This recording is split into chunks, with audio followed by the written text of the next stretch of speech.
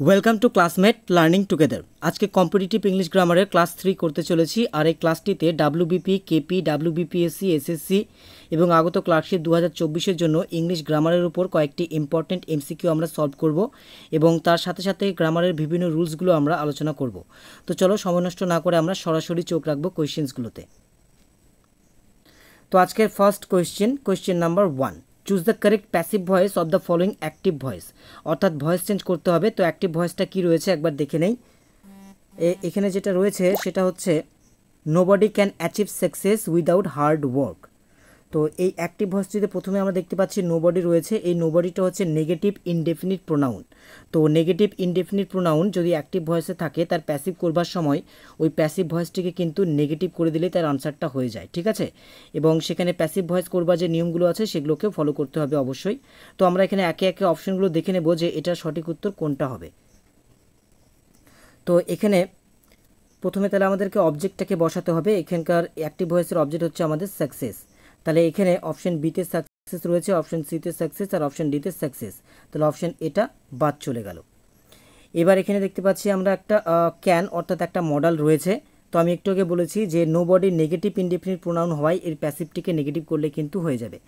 তো মডেলের ক্ষেত্রে আমরা ওই মডেলটাকে ইউজ করি আর তারপরে একটা বি বসাই। যেহেতু আমাদেরকে প্যাসিভটিকে নেগেটিভ করতে হবে, তাই এখানে ক্যানের বদলে আমরা বসাবো ক্যান নট আর তারপরে মডেলের ক্ষেত্রে প্যাসিভ ভয়েসের সময় আমরা মডেলটির পরে একটা বি ইউজ করি, সেটা ইউজ করব ক্যান নট বি ঠিক আছে?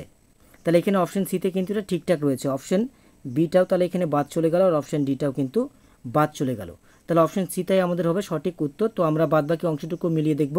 তারপরে অ্যাচিভ মেন ভার্ব এর ফার্স্ট পার্টিসিপাল ফর্ম হচ্ছে অ্যাচিভ সেটা এখানে রয়েছে। আর বাদবাকি যে অংশটুকু রয়েছে উইদাউট হার্ড ওয়ার্ক এটা সেরকমই আছে। ঠিক আছে? তাহলে প্রশ্নের সঠিক উত্তর হচ্ছে আমাদের option success can not be achieved without hard work এবার question number two which of the following words means same as frantic তো ফ্র্যান্টিকের এখানে সিনোনিম আমাদেরকে বলতে হবে। প্রথমে আমরা দেখে নেব ফ্র্যান্টিক শব্দটির অর্থ কী। তো ফ্র্যান্টিক এই শব্দটির অর্থ হচ্ছে ক্ষিপ্ত। ঠিক আছে? এবার একে একে অপশনগুলো অর্থ সহকারে দেখে নেব। অপশন এতে রয়েছে জেন্টল জেন্টল মানে হচ্ছে শান্ত। অপশন বিতে রয়েছে কোহরেন্ট কোহরেন্ট মানে হচ্ছে সামঞ্জস্যপূর্ণ। অপশন সি, অপশন সিতে রয়েছে ভায়োলেন্ট ভায়োলেন্ট মানে হচ্ছে কিন্তু উগ্র বা প্রক্ষুব্ধ।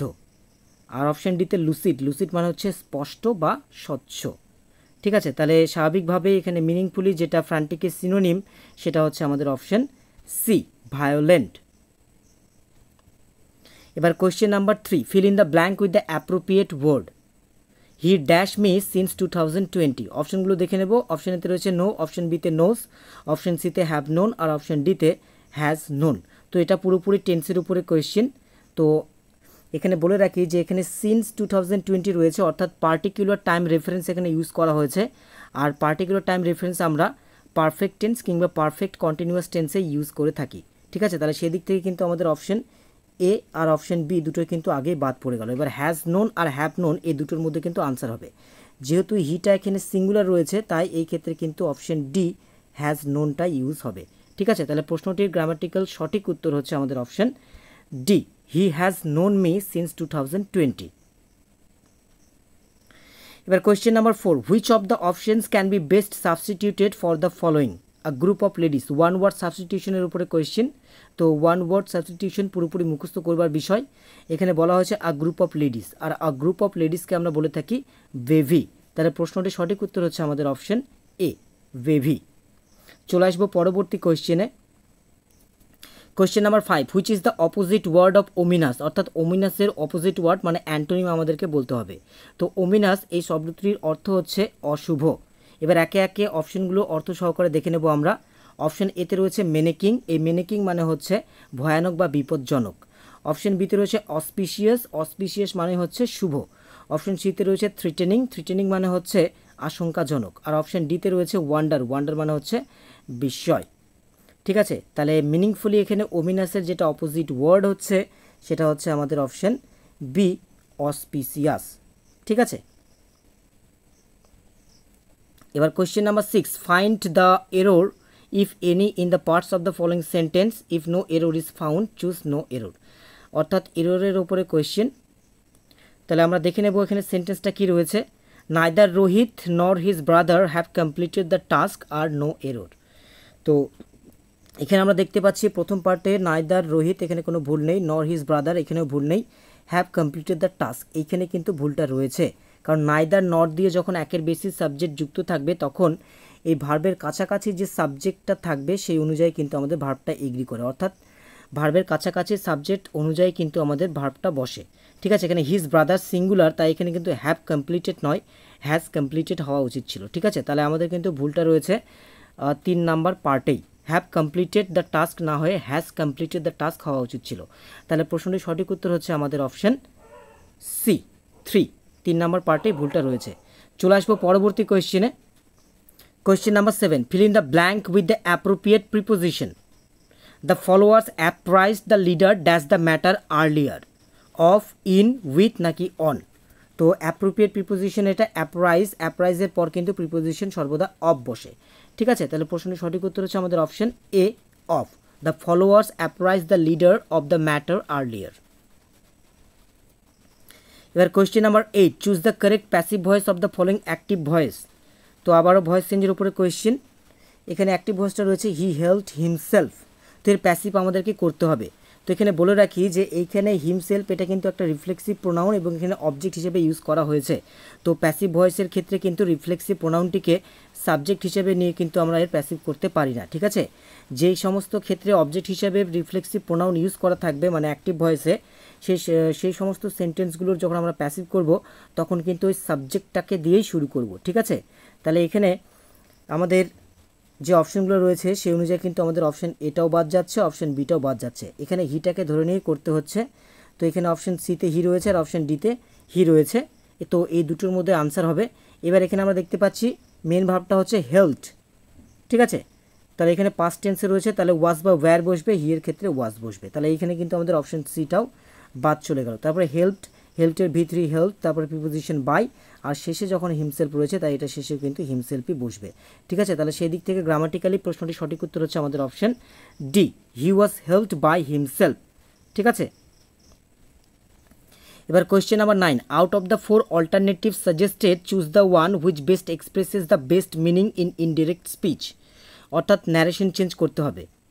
তো দেখে নেব সেন্টেন্সটা কী রয়েছে। He said to Leela my father has gone to Delhi today তো এখানে সবার প্রথমে আমরা সেন্টেন্সটিকে দেখে নেব যে সেন্টেন্সটা সরি রিপোর্টেড স্পিচের সেন্টেন্সটা কোন সেন্টেন্স সেটা আমরা দেখে নেব। My father has gone to Delhi today এটা অ্যাসার্টিভ সেন্টেন্স অর্থাৎ অ্যাসার্টিভ সেন্টেন্সের ক্ষেত্রে যেভাবে ন্যারেশন চেঞ্জ করা হয়, সেভাবে আমরা ন্যারেশন চেঞ্জ করে দেখব। তো হি সেট টু লীলা এটা ক্ষেত্রে সেট টু থাকলে অ্যাসার্টিভ সেন্টেন্সের বেলায় টোল্ড হয়। তাহলে he told Leela that he told Leela that তাহলে অপশন ডিটাও বাদ চলে যাচ্ছে আর অপশন এটাও কিন্তু এখানে বাদ চলে যাচ্ছে। ঠিক আছে? তাহলে ইনভার্টের কমা উঠে গিয়ে এখানে দ্যাট বসল দ্যাট বসানো হলো। এবার মাই ফাদার তাহলে মাইটা হচ্ছে ফার্স্ট পার্সন তাহলে স্পিকার অনুযায়ী চেঞ্জ হবে। তাহলে মাইটা হচ্ছে এখানে পজিটিভ কেস তাহলে হিয়েরও কিন্তু পজিটিভ কেস ইউজ হবে। হিয়ের পজিটিভ কেস হচ্ছে হিজ তাহলে মাই ফাদারটা হয়ে যাবে হিজ ফাদার এখানে বিতেও রয়েছে হিজ ফাদার আর অপশন সিতেও কিন্তু রয়েছে হিজ ফাদার তারপরে হ্যাজ গন ভার্বের অংশ অর্থাৎ টেন্স চেঞ্জ করতে হবে। তো এখানে সেট টু রিপোর্টিং ভার্বটা কিন্তু পাস্ট টেন্সে রয়েছে, তাই এই রিপোর্টেড স্পিচের টেন্সটিকেও কিন্তু পাস্ট টেন্স করতে হবে। তাহলে হ্যাজ গন এটা হয়ে যাবে পাস্ট পারফেক্ট অর্থাৎ হ্যাড আর ভার্বের থার্ড ফর্ম তাহলে হ্যাড গন ঠিক আছে, এখানে কিন্তু অপশন বিটাও বাদ চলে গেল। তারপরের অংশগুলো আমরা দেখে নেব। টু দিল্লি যেরকম আছে সেরকমই বসবে। আর টু ডে থাকলে এখানে দ্যাট ডে ঠিক আছে? তাহলে প্রশ্নটির গ্রামাটিক্যাল সঠিক উত্তর হচ্ছে আমাদের option C he told Leela that his father had gone to Delhi that day এবার question number ten out of the four alternatives suggested, choose the one which best expresses the best meaning in indirect speech. এটাও ন্যারেশনের উপরে question তো দেখে নেব। Shreya said to her friend I could solve this easily এবার এখানে reported যে স্পিচটা রয়েছে সেটা কিন্তু একটা অ্যাসার্টিভ সেন্টেন্স তাহলে সেই অনুযায়ী আমাদেরকে ন্যারেশন চেঞ্জ করতে হবে। Shreya said to her friend তাহলে এটা হয়ে যাবে, শ্রেয়া টোল্ড হার ফ্রেন্ড তো এখানে অপশন বিতে রয়েছে, আর অপশন সিতে আর অপশন ডিতে কিন্তু এটা রয়েছে। অর্থাৎ অপশন এ কিন্তু এখান থেকে বাদ চলে গেল। এবার ইনভার্টেড কমা উঠে গিয়ে দ্যাট এখানে তিনটা অপশনে কিন্তু দ্যাট রয়েছে। এবার তারপরে আই ফার্স্ট পার্সন অর্থাৎ স্পিকার অনুযায়ী চেঞ্জ হবে শ্রেয়া, যেহেতু একজন মেয়ে, তাই এখানে সি ইউজ হবে। তো বি সি ডি তিনটে অপশনে কিন্তু শি ইউজ করা রয়েছে। এখানে কুড কুড এই মডেলটা যেভাবে আছে, সেভাবে এখানে ইউজ হবে। তাহলে এখানে কুড এখানেও কিন্তু কুড রয়েছে। তাহলে অপশন বিটা এখানে বাদ চলে গেল। এবার সলভ যেরকম আছে, সেরকমই বসবে। সলভ সলভ এবার দিস ইজিলি দিস থাকলে সেটা হয়ে যায় দ্যাট তাহলে অপশন ডিতে কিন্তু দ্যাট রয়েছে। তাহলে অপশন সিটাও এখান থেকে বাদ চলে গেল। তাহলে প্রশ্নটির সঠিক উত্তর হচ্ছে আমাদের option D Shreya told her friend that she could solve that easily ঠিক আছে?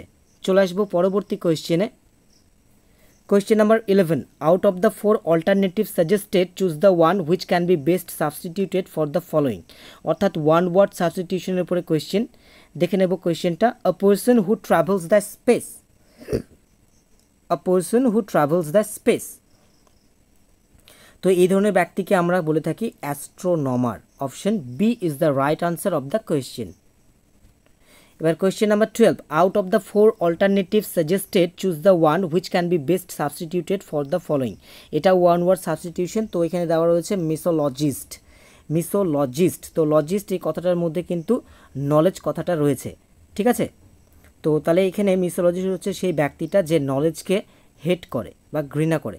তাহলে প্রশ্নটি সঠিক উত্তর হচ্ছে আমাদের option B a person who hates knowledge এবার question number thirteen find which part of the sentence has an error তো এরোরের উপরে কোয়েশ্চেন সেন্টেন্সটা দেখে নেব। His house is more bigger than that of any of us R no error এবার একে একে পার্টগুলো দেখে নেব যে সেন্টেন্সটির কোন পার্টটিতে ভুলটা রয়েছে। হিজ হাউস ইজ এটা ঠিক আছে মোর বিগার দ্যান এখানে কিন্তু ভুলটা রয়েছে, কারণ কোনো সেন্টেন্সে আমরা ডবল কম্প্যারেটিভ ইউজ করি না। এখানে কিন্তু ডবল কম্প্যারেটিভ ইউজ করা হয়েছে, ঠিক আছে? এখানে মোরটাও রয়েছে, আবার বিগারও রয়েছে। অর্থাৎ ডবল ডবল নেগেটিভ ইউজ করা হয়েছে সরি ডবল কম্প্যারেটিভ ইউজ করা হয়েছে, এটা কিন্তু হবে না। তার মানে অ্যাকচুয়ালি আমাদের যে ভুলটা রয়েছে সেন্টেন্সে সেটা হচ্ছে আমাদের এই দুই নাম্বার পার্টে কিন্তু ভুলটা রয়েছে, ঠিক আছে? তাহলে প্রশ্নের সঠিক উত্তর হচ্ছে আমাদের অপশন বি এবার question number fourteen which of the following words means same as imminent তো ইমিনেন্টের সিনোনিম আমাদেরকে বলতে হবে। তো ইমিনেন্টের শব্দটির অর্থ হচ্ছে আসন্ন, যা ঘটবেই।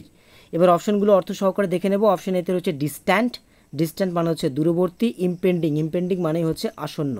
Option C withdrawing withdrawing মানে হচ্ছে কোনো কিছু সরে যাওয়া বা পিছিয়ে যাওয়া, যেটা আর ঘটবে না। ঠিক আছে? মানে বিপদ গমন। অপশান ডি অপশন ইতে হচ্ছে ইনসিগনিফিকেন্ট ইনসিগনিফিকেন্ট মানে হচ্ছে গুরুত্বহীন। তাহলে এখানে মিনিংফুলি যেটা সঠিক উত্তর হচ্ছে, সেটা হচ্ছে আমাদের অপশন অপশান বি ইম্পেন্ডিং ঠিক আছে? এবার চলে আসব পরবর্তী কোয়েশ্চেনে question number fifteen which is the opposite word of impetuous অর্থাৎ অ্যান্টোনিম বলতে হবে ইম্পেচুয়াসের ইম্পেচুয়াস শব্দটির অর্থ হচ্ছে বেগবান বা প্রচণ্ড বেগে যেটা ধাবমান। এবার অপশনগুলো দেখে নেব। অপশন এ র্যাশ র্যাশ এই শব্দটির অর্থ হচ্ছে বেপরোয়া। অপশন বিতে রয়েছে পয়েস্ট পয়েস্ট মানে হচ্ছে স্থির বা যেটার ভারসাম্য রয়েছে। অপশন সিতে রয়েছে স্লাগিস স্লাগিস মানে হচ্ছে নিষ্ক্রিয় বা আলস্য পরায়ণ আর অপশন ডি অ্যাগ্রেসিভ অ্যাগ্রেসিভ মানে হচ্ছে আক্রমণাত্মক। তাহলে এখানে মিনিংফুলি যেটা ইম্পেচুয়াসের অপোজিট ওয়ার্ড বা অ্যান্টোনিম সেটা হচ্ছে আমাদের অপশন বি পয়েস্ট স্থির, ঠিক আছে? তাহলে পয়েস্ট অপশন বি এবার কোয়েশ্চেন নাম্বার সিক্সটিন এটা এসএসসি সিজিএলএ টু থাউজেন্ড ইলেভেনে এসেছিল। কোয়েশ্চেনটা দেখে নেব। In this question the first and the last sentences of the passage are number as is one and S six the rest of the passage is split into four parts and named P Q R and S this four parts are not given in their proper order read the sentence and find out which of the four combinations is correct অর্থাৎ sentence reordering আমরা দেখে নেব এখানে একে একে যে কোনটা সঠিক উত্তর হয়।